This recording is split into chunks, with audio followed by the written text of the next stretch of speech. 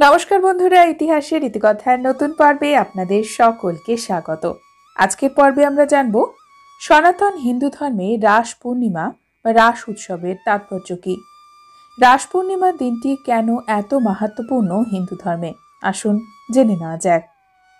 প্রত্যেক বছর কার্তিক মাসের পূর্ণিমা তিথিতে পালিত হয় রাস পূর্ণিমা বা রাস উৎসব। এই বিশেষ দিনে ভক্তরা ভক্তি এবং নিষ্ঠার সঙ্গেই রাস উৎসব পালন করেন। ভক্তরা বিশ্বাস করেন এই বিশেষ দিনে রাধা এবং অন্যান্য গোপিনীদের সঙ্গে রাস লীলাতে মেতে উঠেছিলেন স্বয়ং ভগবান শ্রীকৃষ্ণ। শরতের পরে আসে হেমন্তকাল আর এই হেমন্ত ঋতুর প্রধান ও গুরুত্বপূর্ণ উৎসব হল রাস উৎসব। ভগবান শ্রীকৃষ্ণ এবং শ্রীরাধিকা এই দিনটিতে বিশেষভাবে পূজিত হন। বিভিন্ন বৈষ্ণব তীর্থক্ষেত্রে এবং কৃষ্ণ মন্দিরগুলিতে মহা সমারোহে রাস উৎসব পালন করা হয়। বৈষ্ণব সম্প্রদায়ের কাছে অত্যন্ত পবিত্রতম দিন এটি। পুরাণ অনুসারে বৃন্দাবনে থাকাকালীন ভগবান শ্রীকৃষ্ণ গোপিনীদের কাছে প্রতিজ্ঞা করেছিলেন যে, তিনি তার মনের সব ইচ্ছা পূর্ণ করবেন এবং তাদের সঙ্গে রাস লীলা করবেন।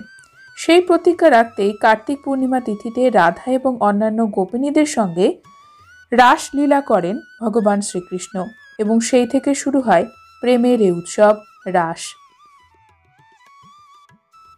রস, এই শব্দ থেকেই রাস কথাটি এসেছে। প্রেমের রসে মাখায় উৎসব রাস নামে পরিচিত।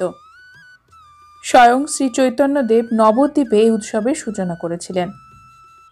বিশ্বাস করা হয় পরমাত্মার সঙ্গে আত্মার মহামিলনই হল রাস। পুরাণে শারদ রাস এবং বসন্ত রাসের উল্লেখ পায় সনাতন ধর্মাবলম্বীদের বাৎসরিক উৎসব শ্রীকৃষ্ণের ব্রজলীলার অনুকরণে বৈষ্ণবীয় ভাবধারায় এই উৎসব পালন হয়। বাংলায় মহারাজা কৃষ্ণচন্দ্র পরবর্তী সময়কালে রাস উৎসবের প্রচলন করেছিলেন। নদিয়ার শান্তিপুর এবং নবদ্বীপে টানা তিন থেকে চার দিন মহা সমারোহে পালন হয় এই উৎসবের। উৎসবের শেষ দিন বের হয় শোভাযাত্রা। অন্যদিকে ভারতবর্ষের উত্তরপ্রদেশের মথুরা এবং বৃন্দাবন, এছাড়াও উড়িষ্যা, আসাম এবং মণিপুরে এই রাসযাত্রা বিশেষভাবে পালন করা হয়। রাস পূর্ণিমা কার্তিক পূর্ণিমা নামেও পরিচিত। বলা হয় এই পূর্ণিমা তিথিতে উপোস করলে একশো অশ্বমেধ যজ্ঞের সমান পুণ্য লাভ করা যায়। এই দিনে সূর্যোদয়ের আগে ব্রহ্ম মুহূর্তে উঠে স্নান করা অত্যন্ত শুভ। এটি ধর্মীয় বিশ্বাস।